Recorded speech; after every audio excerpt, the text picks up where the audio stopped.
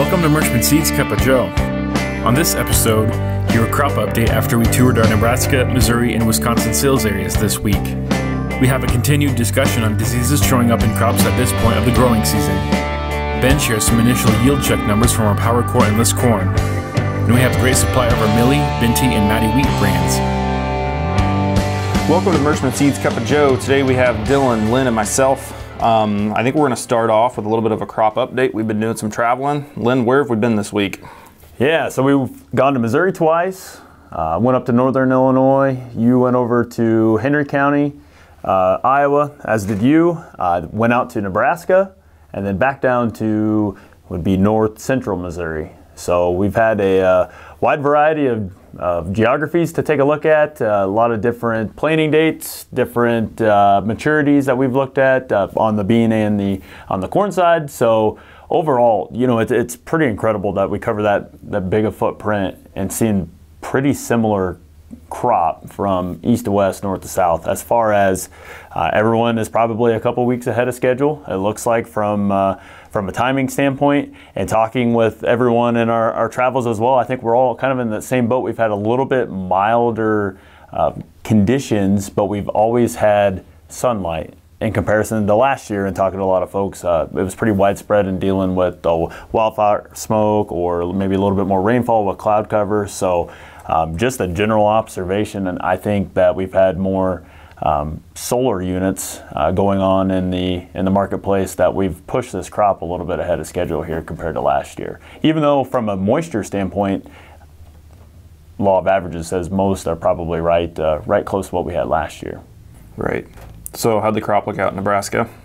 I think those guys should be very excited. Uh, you know, when you're talking dry land into the triple digits for yield potential, um, that, that, has got to be a pretty good day for those guys to be pretty excited about.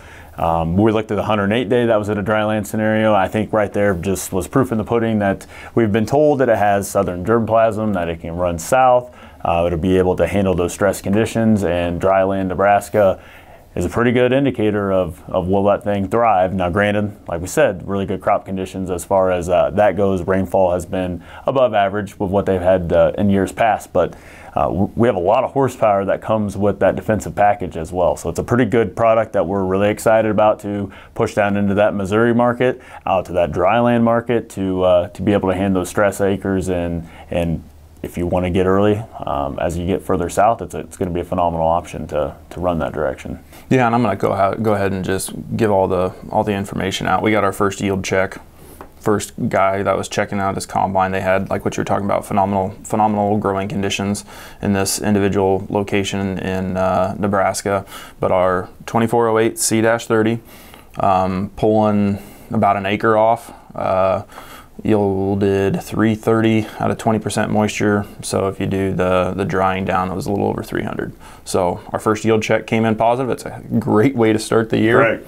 Um, I'm very happy. I'm very excited for these for these uh, these customers that have uh, went ahead and bought PowerCore and put the faith in us that we were putting good product out, and uh, the, the customer was extremely happy.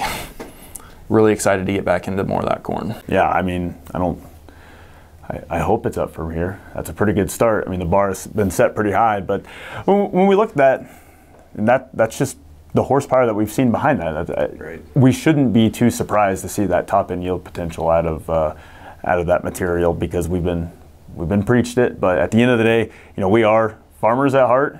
Uh, I'm from Missouri. I'm going to go with the cliche. You got to show me, and I think we're uh, we're seeing farmers now in field we're getting away from the you know the testing data, all the, the, the small strip trials that we've uh, been presented with. We're actually getting in-field results that are, uh, to be honest with you, that exceeded expectation. Absolutely, yeah. No, I'm. You are right. The, the, the, first yield check was a, was a high bar. That was definitely set. The stuff we looked down at Rodney's when we went down to Trenton, Missouri uh, yesterday. I mean, looking across that plot, I mean, I should be a, well above average for him as well. Um, and that's a you know that, that that's a, a market that is very hard to position hybrids just because they have very varying different soil types. You go from river bottoms, extremely high productive, talking to an individual who's putting on hog manure on bottom ground through pivots, Uh, and then you get into some white oak timber soils that are probably some of the most unforgiving terrain that we have to deal with. And and guys are really excited about the corn that's out there right now. That they're they're seeing a lot of good.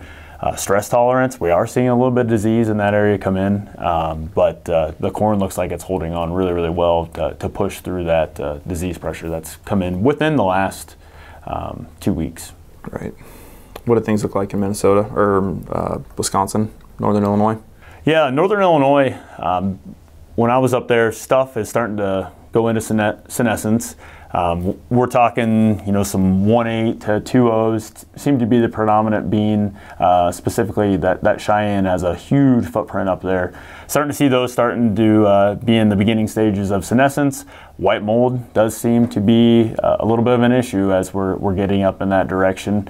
SDS starting to creep its head in a little bit, but uh, you know, at the field day I was at, and I'm going to butcher the number, but it was somewhere between 28 and 35 inches of moisture that they had from April to July. So, you know, as we talk in those conditions, SDS, no matter what seed treatment you're running with, um, most um, short of the Cheyenne scores that you have from a uh, variety tolerance, we're really playing playing defense at that point to just hold on to uh, any yield potential that we have in those soybeans because we are I mean we are in the prime um, situation to have SDS manifest itself. Right, and a lot of those customers up there, you know, will treat everything with Starting Line Plus, which has Saltro in it, and Trunemco, and uh, there's not a lot of checks out there because they want the full protection. Right. So we don't know how bad it could be um, if, if, if that wasn't on there. So you know. part of that I don't blame them because it's such a. I mean, in years past that they've done that, it's been such a economic loss on those checks that like, oh, I don't want to lose that money on an acre. I want to, you know, protect all that. Uh, on the corn side, kind of the same boat we're seeing everywhere else, uh, due to a lot of that uh, early season moisture, potential timing of the application of uh, anhydrous, a lot of fall anhydrous. Um, you were up there in that same geography mm-hmm. a little bit, uh, a little bit before I was. Uh, corn started firing off on the bottom from nitrogen deficiency pretty early. One caveat: the, the field that you had looked at. Fast forward to where I uh, was at. You're probably what, a month ago, two months ago? Oh, about a month ago.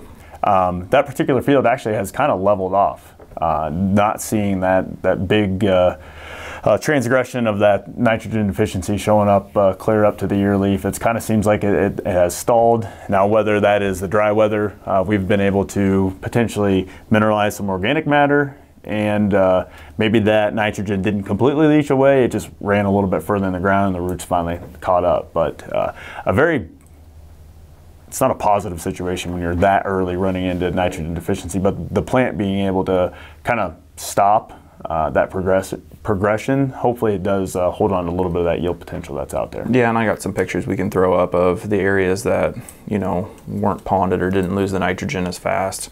Our, our pictures on the left and the pictures on the right are the areas where, where the, the corn tipped back and it just ran out of nitrogen from way too wet conditions. I don't know if there's, I don't know if there would have been an economic or a right time to go back in and add more nitrogen for the amount of rain that they continued to get. You know, July was a wet month, June was a wet month. They, they, they just not a lot of forgiveness in that Correct. area right now. Correct. So, yeah. Um, I think we wanted. I'm stealing an idea from uh, uh, the Illinois Soy Envoy. Uh, they're, they're a, they put a podcast on every Thursday, and uh, they, they started something last week where they uh, pulled different pictures. Everybody that was presenting had to have a different picture for what they saw that week or this year or something that stood out in their in their mind. So, Dylan, what kind of pictures you got for us this week? Yeah, so uh, with all of our travels, we've seen a lot of corn. So that's kind of what I want to hit on the 25 12C-30, the new 112 day that we've kind of been bragging about. But seeing it out in Nebraska on irrigated ground with pretty good fertility and the moisture, it really shows. We've kind of seen it in some other areas. If you really push it uh, with good fertility, good management, it's going to really, really show off. And we've kind of seen seen it in a little bit in plots, but now when plots are kind of moving along, they're starting to look better. But out in field setting, it just looks phenomenal. Um, with these pictures, it looks amazing, and that's what we were pushing for. Um, that was the, the market we were we were pushing forward, and it just shows with that high management um, what it it can really do. Yeah. So in your picture, you got five in a row. You got five five corn ears, and those were pulled five five plants in a row, and they were extremely representative of what was out there. And and that I think that that individual product has the ability to go way above and beyond 300 bushel per, per acre potential. And I'm really excited to see some yield maps come off of that field when it when the time comes. Yeah, and seeing those guys, we brought it back to that field day, and they were just in awe. They couldn't even fit their fit their hand around it, um, and that just the growers' eyes just lit up. So it's really something special that we've got going on with the, the 112 day we're bringing um, bringing to you guys next year. Yep, that one is going to be available as a non-GMO and as a as a power core option as well. So very exciting there. Lynn, what kind of pictures you got for us? Well, it seems to be that I've been kind of doom and gloom on uh, this podcast, so let's stay on brand here today. So I've got pictures of some tar spot from here in, in Lee County we are uh, we're at that uh, point in time where uh, you know talking with Rodney and, and as I mentioned looking at some tar spot and the uh, varieties that were down there. Kind of the same boat that's happened here. Fungicide application we're past that uh, that latency period uh, for the, the second go around or potentially even the third go around we did a pretty decent job of, of stopping it in its tracks and now unfortunately our residual has has started to wear off and we're seeing tar spot show back up here. So uh, for, for full disclosure, it is a competitor's uh, uh, picture that, uh, or competitor's hybrid that we were, we were looking at uh, and comparing our, our power core to what the, the competition's doing. And uh, it's, it's potentially going to be pretty devastating because we're at, when this picture was taken, I mean, there's still a lot of potential left to put into this plant. And uh, if this gets to the point where it's going to start, you know, major uh, uh, either defoliation or because right now when we're talking about sulfur and nitrogen, we're already dealing with problems in this uh, in these corn plants with uh, the relocation or translocation of nutrients as tar spot causes that uh, that leaf to, to die off early. So in those hybrids, what we're going to see is they're just they're not going to have enough uh, horsepower to get to the finish line, and it's going to be a respectable yield. Don't get me wrong, but uh, there is a lot of uh, potential there in weight that's going to be taken off the table because of that. Right. And when I think about those scenarios, I'm thinking about the next time that field's going to be in corn. Those are the notes that I'm taking when you when you see tar spot as severe as what that is. When when there's still green tissue left on the plant, that's probably going to be an issue. When it comes to the guys that are doing the minimal tillage and trying to you know build organic matter things of that nature next time that cornfield is going to be in corn again I'm, I'm going to want notes on it and I'm probably going to be planning on the double fungicide application to, to keep it alive as long as possible um, some of the other things that I'm thinking about when I see that those are the fields that I'm going to start flagging for harvesting first and I'm also thinking about you know what's the planting date because if I have a planting date of May 15th or later you're exactly right. We're, we're, we're probably going to see some yield hit when we're seeing that level of tar spot out in the field. If I have an April 15th planting date, that corn is probably getting real close to black layer, and uh, it's going to be next time's problem, not this year's problem. So those are some of the things I'm thinking about when, when tar spot comes in that severe. One of the differences between the power core from what we've seen the past three years in a lot of our in a lot of our products, um, we can get tar spot. It doesn't typically get that bad until senescence, like once, once the plant is, right. is finally browning down. But we can get a certain level or a certain pressure of tar spot and the plants will still stay green. And then that comes from the Corteva based genetics that have a, uh, an advantage of higher tolerances to tar spot. They don't suck down because there was fields that I was in knowing that they are um, genetics that come from a different camp other than Corteva is how I'm going to word it. Uh, they were green one week and they're completely brown the next, and, and tar spot is what's doing that. So those are the guys that are really probably going to start chasing those fields to make sure that they don't uh, don't have corn that's going down because that, that's a real possibility. Lived it, breathed yep. it, been through it. So What'd you have there, boss man? I'm not your boss, but I did have a picture of white mold, and white mold continues to show its ugly face. We've talked about it a couple times on on Cup of Joe here. Um, it kind of goes back to that sudden death talk. You know, with with the inoculum that's in the soil, and you give it the current environment, we can do everything in our power from a seed treatment standpoint to try to lessen the burden that uh, white mold has on different products. You can definitely go and look at the different scores, and those scores come from MS Tech. They're real scores. They're not marketing scores. Um, we, we, we try to put our growers in the best position possible that we have, but at a certain point, it becomes a learning uh, or a training curve where we, we start talking about okay we're passing the baton off I, this is something where we you know we need to use a super efficacious uh, r1 first flower uh, fungicide for white mold um, and uh, the crop protection network has a, a, list of a myriad of fungicides that specifically target white mold at the R1 timeframe. It's not the, the R3 try to protect from septoria or uh, septoria or um, uh, like frog eye or things of that nature or, or plant health style of application but that's that's going to be a big key when it comes to controlling white mold. Cobra can be a big key when it comes to controlling white mold. Uh, lowering planting populations, getting those soybeans in 30-inch rows are all good things that are going to help. And even in the areas this year I would encourage guys that have the worst uh, white mold pressures in certain areas of their fields. There's a ex- really expensive product out there that you apply in the fall that actually breaks down the, the fruiting bodies or the sclerotia of the, that white mold, and it's called Contans.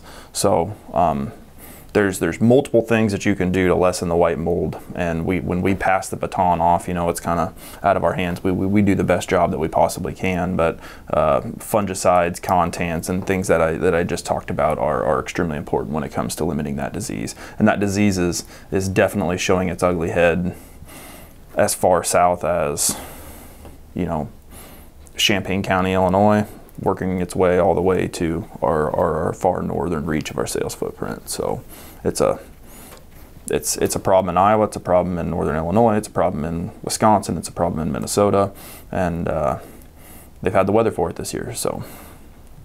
Um, is there anything else we need to cover um, this week before we get to Lynn's awesome corny joke? Mm-hmm. Great time to order wheat. It is a great time to order wheat. We've had a lot of phone calls again this week. Guys calling from all over the the sales footprint, wanting to try wheat, um, putting the pencil to the paper and seeing what you know potentially 100 bushel wheat paired with 40 bushel double crop soybeans looks like on on especially their more marginal acre. So um, we have plenty of wheat. The uh, Millie's in great supply, the Bintee's in great supply, the Maddie's in great supply. Um, we're going to have a huge amount of hyper earlies. I've been working on my wheat production plan for next year. We're going to have a big amount of uh, the hyper early that we pick um, for next year. So um, it is a good time for be ordering wheat as well. So gets us to the corny joke. It's not really a joke. I think uh, Joe's not here, so don't really want to take his thunder. So I'm just not going to tell a joke today. Um, but I, I did see something that was a little bit concerning as we were in our travels yesterday. We're coming back from Missouri, and it was a warm one still. I mean, we had a little bit of a break from, from rain that, that had happened, but man, it, it picked the humidity back up, and uh, just standing out there by the bean plot just started sweating within 15 minutes. But it was so hot out on our way back home, we saw that funeral procession actually pull into a Dairy Queen. you know, Dylan, with this weather, you probably got your air conditioner set pretty low. So if you run into some problems, it's a little too cold in your house, you can go stand in the corner because it's always 90 degrees. Pretty terrible jokes, Lynn. Hey, okay. I just want to make sure that Joe uh, Joe doesn't think that I'm going to try to steal his thunder here. Yeah, there we go. Well, I appreciate everybody taking the time listening to us on podcast or watching us on YouTube. Uh, we hope you have a safe week. Harvest is getting ready to roll around the corner, so hope everybody's safe and harvest is fruitful, and we will catch you next week.